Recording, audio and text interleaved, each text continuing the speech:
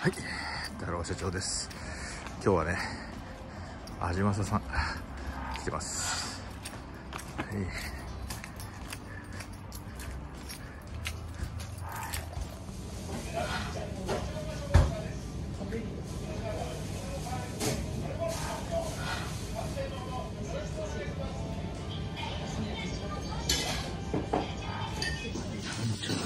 ピンクチャーシューね。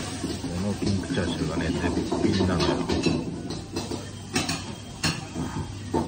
い、今ね食べ終わって味まさ出てまいりましたこれね味まさね富士のね入島の近くですねここのねあのピンクチャーシューを、えー味わうのにはですねまずチャーシュー麺ですね。そしてえー、あれですね。半チャーハン。あのチャーハンの中にもねしっかりとピンクチャーシューが入っててこの2つはね欠かせませんので、えー、ぜひ来た方はですねあのチャーシュー麺食べてみてください。おすすめです。